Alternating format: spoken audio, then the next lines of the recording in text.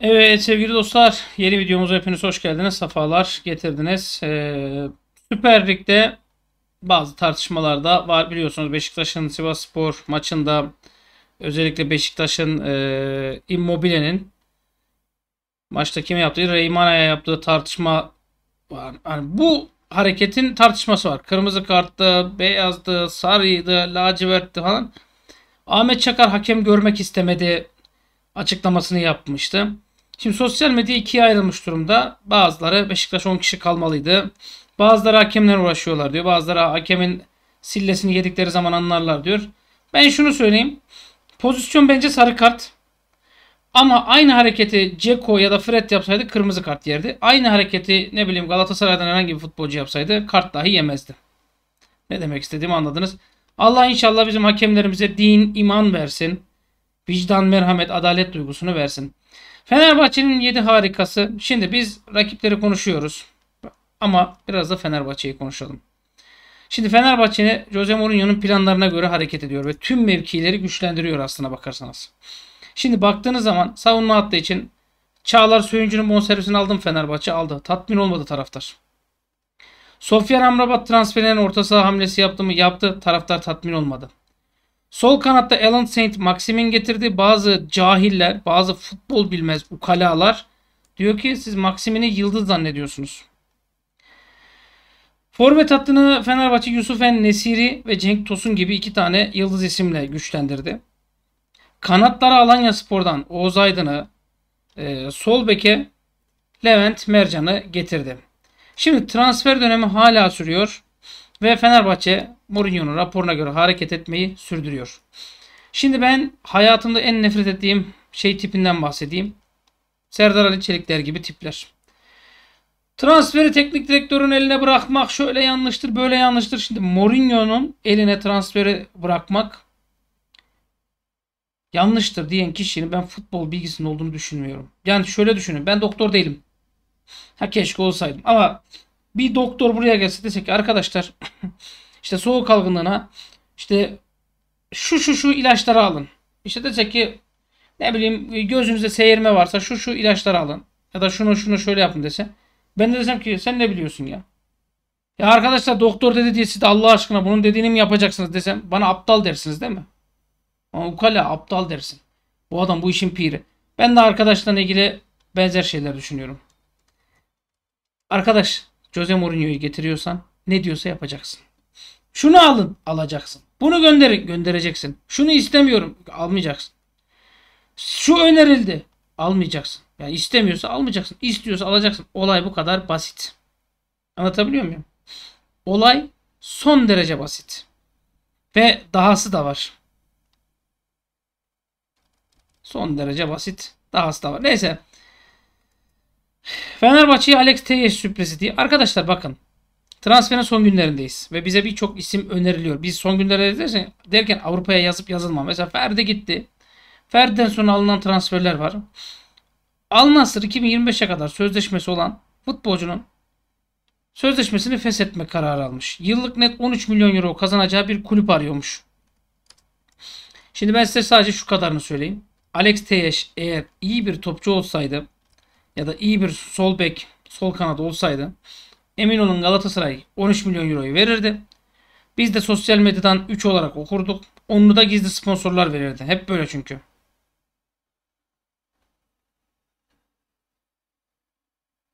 Yani durum bu. Ee, şimdi şunu da özellikle ve özellikle belirteyim. Geçen seneki performansı o bu şu falan.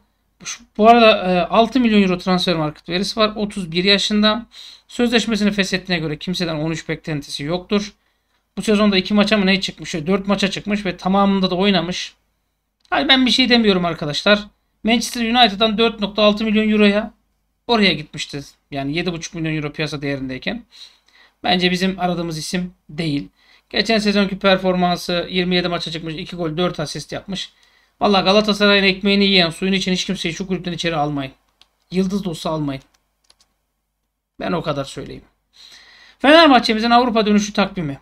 Arkadaşlar atladığınız en büyük detay burası. Siz çok ciddi bir detay atlıyorsunuz. Atladığınız detayı söyleyeyim. Maçlar oynanılıyor. Maçlar oynanılıyor. Ve maçlar devam ediyor. Transferi yapan değil, maçları yapan kazanır. Mesela Fenerbahçe zamanında hatırlayın Van Persie'lerin Nani'leri getirdi. Şampiyon olabildi mi? Olamadı. Öyle değil mi? Galatasaray ben hatırlıyorum Gabriel Sara mıydı? Bir de Enzonzi'ydi sanırım. Birinin değeri 40'tı herhalde. Birinin de 35 miydi neydi? Gabriel Sara mıydı ya? Neyse iki tane isim daha hatırladınız siz onları. Getirdiler. ikisi de amele çıktı. Hiçbir şey yapamadılar. Piyasa değerleri düştü. Alt üst oldu. Onlar geldiğinde lig bitti. Kapatın. PlayStation'ı kapatın. Şöyle böyle falan yapanlar ilerleyen haftalarda saçmalamaya başladılar. Ben şunu söyleyeyim. Ben bekleyip görme taraftarıyım. Anladınız mı? Hani Ümit Özat diyor ki Oşimhen geçen sezon 114 gün antrenmana çıkmamış. 114 gün Galatasaray başına Balotelli gibi bir bela alabilir demiş. Allah bin belasını versin. Daha da bela alsınlar. Yani öyle böyle değil. İyice karışsın. Hakim Ziyek şeyle görüşme aşamasındaymış. Olympiakos'tan. E geçen sene Hakim Ziyek, Zaha falan geldi. Fenerbahçe taraftarı ne dedi? Arkadaş kapatın şöyle böyle. Hakem yardım olmadan Galatasaray şampiyon olamadı. Hakemler kart göstermekten falan vazgeçti. Bakın Fenerbahçe Avrupa'da ve ligde inanılmaz bir fikstür var.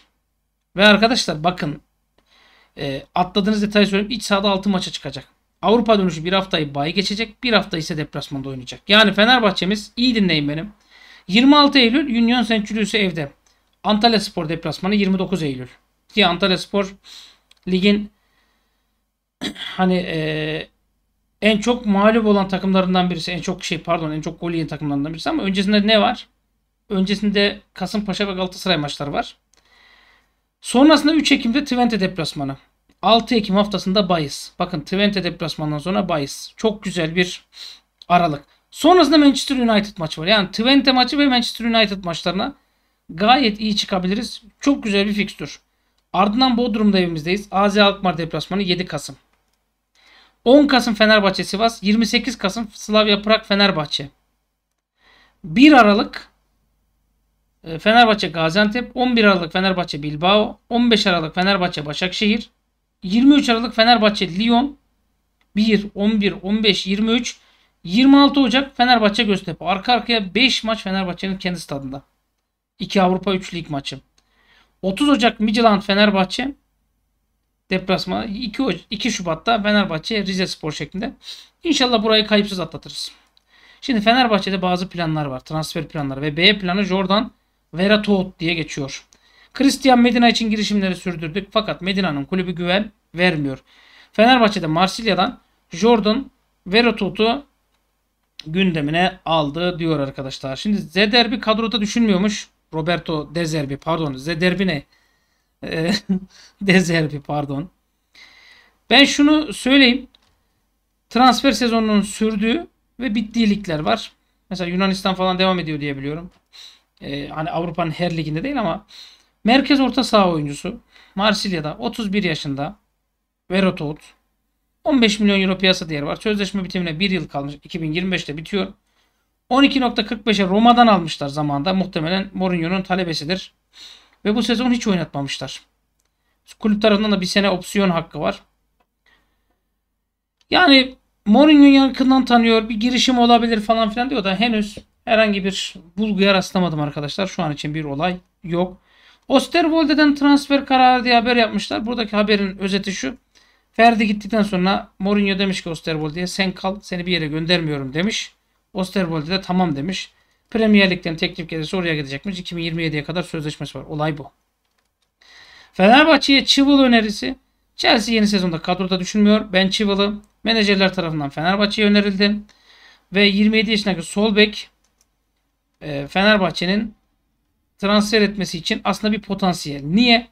Transfer market değeri 28 milyon euro. Bizimkiler transfer market değerine çok aldanırlar. Ben şunu söyleyeyim. İşin maddi boyutunda mısın? Chelsea oynatmıyor musun? Tamam kardeşim sen bana kirala. Maaşını sen verdi.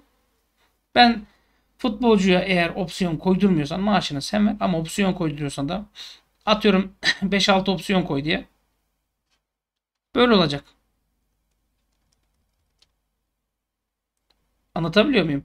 Ama Ahmet Ercanlar ne demiş? Hadi bakalım Icardi'yi oyundan çıkaramayan Okan Buruk yedek bıraksın. Okan Buruk dua edecek Icardi veya Osimhen sakatlansın diye. Hele bir Kadıköy'e çift forvet çıksın Icardi Osimhen. Bakalım ne oluyor? İddia ediyorum 6-0 unutturur Fenerbahçe demiş. Ya ben böyle iddialı laflar çok sevmiyorum ama şu bir gerçek. Ben ee, bu olayın içinde hala bir olay bekliyorum ya. Ben bu olayın içinde bir olay bekliyorum. Biraz şöyle değiştim. Garip garip enstantanelere denk geldim. İşte futbolcunun devre arasında başka takıma gitme şeyi varmış, maddesi var. Hani futbolcu burayı antrenman tesisi olarak kullanabilir mi? Geleyim, ulan antrenmanlara çıkayım, hazır kamp yiyeyim. İşte Avrupa Ligi falan. Biraz da tecrübeleneyim diye. Ee, Chelsea'nin de adı anılıyor.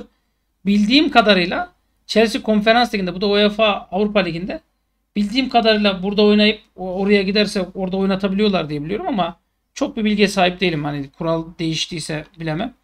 Ama ben bu transfer olayında bir şey seziyorum da. Hayırlısı bakalım arkadaşlar. Yani hayırlısı diyeyim. Demek istediğimi inşallah anladınız arkadaşlar. Ha e, biz Fenerbahçe'yi konuşalım. Bizim için önemli olan Fenerbahçe. Ben şeyde söyledim. Ahmet Ercanlar ne demiş? Bugün transferi beklemiyorum ama demiş. Fenerbahçe bu bilemezsiniz. Bir saat sonra bir bakarsın. Transfer açıklanır demiş. Valla ben Fenerbahçe'nin genlerini biliyorum. Benim bildiğim Fenerbahçe bugün transfer açıklar mı? Ya olursa Medine olur. Olmazsa zor. Bu hani Ben Chilwell kiralık olarak listede düşünülebilir. Haftada 200 bin sterlin kazanıyor. E Fenerbahçe bunu vermez. Maaşı ortak ödeyelim falan filan. Fenerbahçe verse verse 2 milyon euro falan para verir. Ee, şu aşamada da mantıklı değil. Niye mantıklı değil? Arkadaş sen hani aldığın futbolcu ya da almak istediğin futbolcu o kadar ahım şahım bir futbolcu mu? Geçen sezonki sakatlıkları o kadar ahım şahımlığını almış. Bakın bazı futbolcular vardır. Transfer market değeri yüksektir. Mesela Galatasaray şimdi Osimhen aldı. 100 milyon euro. Kıskandım mı? Kıskandım. Fenerbahçe alsaydı memnun olur muydum? Yakardım ortalığı. Ama şimdi hem kıskandığından hem de rakip takım aldığından mantıklı düşünüyorsun. Biz bu mantıklı düşünmeyi maalesef Samat'ta da yapamadık. Adamlar Samatta'yı almış. 12'ye mi ne almış? Bize 6 milyon euroya daha bir sene geçmeden vermiş. Parayı da taksitle verebilirsiniz demiş. Biz hiç kullanmamışız. Lan Karaman'ın koyunu sonuna çıkar oyunu gibi. Lan biz niye hiç düşünmedik diyorum kendi kendime. E bugün bakıyorsun. Mesela Oşimhen ismi. Ya şu kadar alındı, bu kadar alındı. Şöyle böyle bak geçen sezon 114 maça çıkmamış. Ee, Icardi'yi çıkartamıyor. Mecbur çift forvete dönmek zorunda. Bakıyorsun Galatasaray'ın orta sahası hani çift forvete dönse 4-4-2'yi kaldıramaz. Ciddi söylüyorum 4-4-2'yi Galatasaray orta sahası kaldırabilir mi ya? O Sara'yı kimse beğenmiyor. Torreira kendini yere atmaktan top oynayamıyor. E, diğer kanat yani Yunus Yunus Akgün'den Barış Alper'le kanatları kaldıramaz. Mecbur 3-5-2'ye dönmek zorunda ya da 3-4-3'e.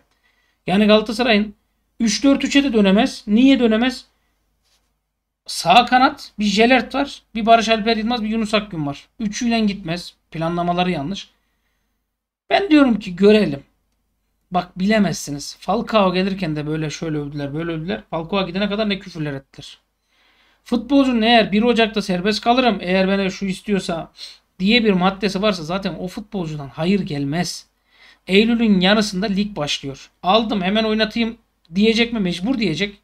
Icardi sakat. 12'de artık ne sakatlığıysa. Icardi Arjantin turunu belki 3 aya yükseltecek. Belki 3 ay boyunca Icardi'den hiç yararlanamayacak. Ki bana sorarsanız Icardi top mu oynamıyordu. Topun T'sini oynamıyordu. Hakemleri tekliyordu. Buyur oyna diyorlardı. Tek ellerindeki umut buydu. Artık Galatasaray lige başlar başlamaz 1-2 puan kaybı bir de Fenerbahçe maçını kaybetse zaten bütün dengeler alt üst olur. O açıdan da biz işimize bakalım diyorum. Fenerbahçe'de bugün kap bekliyor musun? Sürpriz bir kap olabilir. Ama e, Veratot ismi Medina isminde çok sıkıntı çıkardı. 20 milyon doları verin alın diyor. Ben Fenerbahçe'nin yerinde olsam vazgeçerim. Bu kadar uzayıp da hayır gelen hiçbir futbolcu olmadı bize. Bir de bizim bir özelliğimiz var. Bir futbolcuya takıldık mıydı takılıyoruz. Daha bırak gitsin. Dünyada sadece o mu kaldı ya? Haksızsam haksızsın deyin. Ben, ben bu yüzden de biraz kızıyorum arkadaşlar. Hakkımızda hayırlısı olsun. Gerçekler bunlar aktaracaklarım. Görüşmek üzere.